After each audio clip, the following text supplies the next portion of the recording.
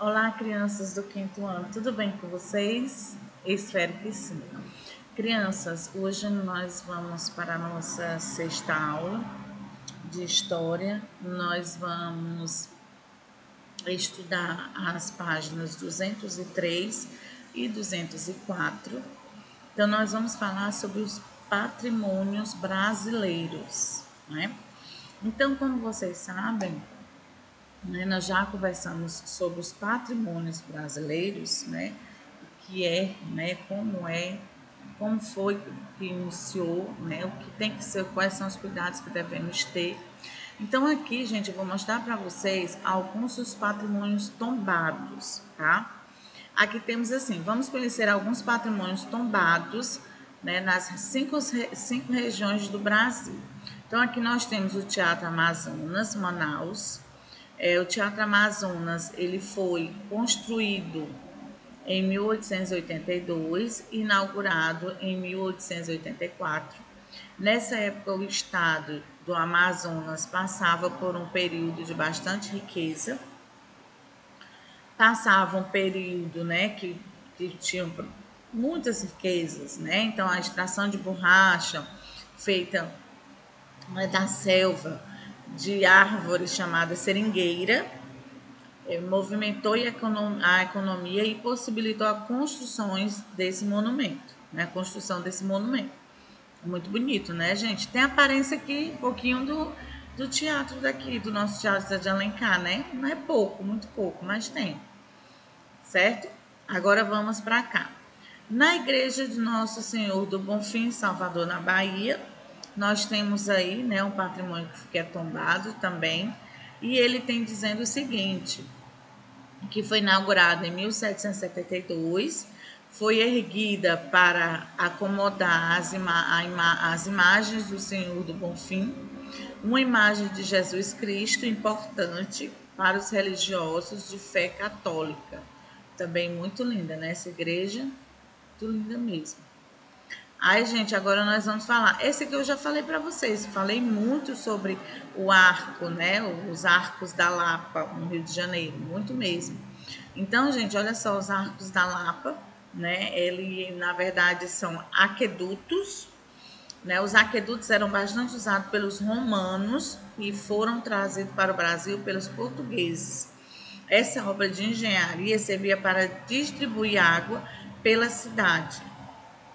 Por quê? Porque, gente, eles era perto do rio e era muito longe da cidade, então eles resolveram fazer o aqueduto para levar a água até a cidade, certo? Então, alimentando os sistemas de esgoto e encanamentos. O aqueduto da imagem foi planejado em 1602 e abasteceu com a água a cidade do Rio de Janeiro até 1896 é, ainda existe. Eu pensei que é um ponto de, de turismo, né? Turístico lá. O pessoal tem que ir lá e tirar foto. Sempre vão e tirar foto. Agora, gente, nós vamos falar um, sobre Brasília, né? Então, Brasília tem a Catedral Metropolitana de Brasília, né? Que é Distrito Federal. Então, como vocês estão vendo, também é muito lindo, né? Parece uma, como fosse no em cima, né? Uma coroa, né? Essa parte de cima é, é o formato de uma coroa. Então, a Catedral Metropolitana de Brasília, ela foi projetada por Oscar Niemeyer, um arquiteto muito famoso. Sua construção foi iniciada em 1958 e sua inauguração ocorreu em 1970. Com ela, vemos que não são tombados, né? Apenas monumentos antigos construções muito modernas, também pode ser considerado um patrimônio, certo? Agora nós vamos para Fortaleza, né, de Santa Cruz. Isso aqui fica em Santa Catarina, né? É, governado por Celso Ramos, né, Santa Catarina. Então a Fortaleza de Santa Cruz, ela está ela está localizada na ilha de Anotomirim, Anotomarim, né? E num município chamado Governador Celso Ramos, no estado de Santa Catarina, né? essa fortaleza era utilizada para defender o litoral de navios invasores. Ela tinha muralhas de pedra muito baixa para proteger as construções, as construções mais alta o suficiente para proteger os atiradores em caso de ataque. Olha que lindo, né? Muito bonito, né, gente? Agora nós vamos, né? Aqui é voltar ao início, mas já, já lemos, a já Lito já explicou. E agora nós vamos dar continuidade ao nosso conteúdo na página 203. Na página 203, gente, nós temos aí é, um, falando sobre o patrimônio cultural europeu, tá? Como vocês aprenderam, por muito tempo, apenas o patrimônio português foi valorizado pelo ESPAM.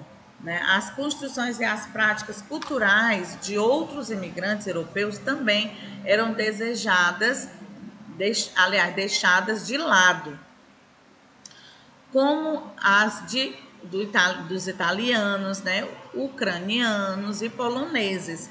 Isso ocorria porque esses imigrantes normalmente eram camponeses, né, muito pobres e não conseguiam grandes igrejas ou edifícios. É, construíram, né? Então aqui, gente, olha só. Aqui nós temos uma atividade que vocês vão pesquisar, tá? Eu vou ler, né, para vocês entenderem melhor, tá bom? Então, a partir dos anos de 1850, muitos imigrantes europeus vieram ao Brasil. A partir dos anos de 1900, chegaram também imigrantes asiáticos. Eram, eles eram extremamente pobres, né? fugiam da fome e vinham ao Brasil uma oportunidade de melhorar de vida. Atualmente ainda existem imigrantes que vêm ao Brasil por vários motivos, né? Fugindo de guerras, da pobreza, da perseguição política. E aí você vai pesquisar agora, a gente vai pesquisar um grupo que imigrou para o Brasil na atualidade e registre as informações abaixo. Então, qual foi o motivo por qual ele veio para o Brasil, né? Aí você vai colocar aqui o nome do, do, do grupo que você pesquisou e por que motivo ele veio para o Brasil, certo? Aqui nós temos, né, falando mais um pouco sobre o patrimônio, né? Então, no ano de 1987, a cidade de Antônio Prado, no Rio Grande do Sul, gente, se tornou patrimônio nacional. Olha que lindas, né? Muito lindas. Essa cidade era uma antiga colônia italiana e os prédios do centro histórico foram construídos de forma muito diferente da arquitetura portuguesa. Muito lindo, né? Olha só. Né? Então, a antiga colônia italiana de Antônio Prado foi fundada em 1886. Né? A, maior, a maior parte das casas né, dessa colônia é feita com madeira de a araucária, né? que atualmente é uma árvore protegida de corte. Aqui nós temos uma atividade com mão na massa, você vai responder, pessoal, essa questão. Né? No Brasil existem alguns espaços considerados patrimônio cultural indígena. Com a ajuda de um adulto, você vai pesquisar né, algum patrimônio cultural indígena e escrever sobre ele nessas linhas abaixo. Então, você faz a linha e escreve sobre ele, tá bom? Tem que pesquisar. A segunda, gente, também é pessoal, né? Pesquise um memorial da imigração de algum povo que vivia no Brasil na época, represente abaixo por meio de desenho e indique qual cidade está localizada. Né? Então, o acontecimento dos imigrantes, né, do povo. Então, você fala aqui e desenha, tá bom? E a terceira questão, gente, ela já está aqui, né? Eu vou só ler a pergunta e depois eu leio a resposta, tá bom? Então, por que alguns monumentos não, né, aliás, são preservados de restarem apenas as ruínas deles, né? Então tem patrimônio, né? Tem monumento que é só os restos, né? Ou um restinho, ou não tem, ou estão uma calçada, como a gente já estudou na, nas páginas anteriores, né? Então a pergunta é: por que alguns monumentos são preservados apesar de restarem apenas as ruínas, né? Então resta o quê? Só um pouquinho, né? De nada, e tá chorado, né? Caído, certo? Então, porque eles ainda podem contar a história de um povo. Não importa o tamanho do monumento, mas sim seu significado para uma comunidade. Por exemplo, é, lá no, no Quilombo dos Palmares, né, como vocês sabem, na Serra da Barriga, Alagoas, é, não tinha mais vestígio nenhum.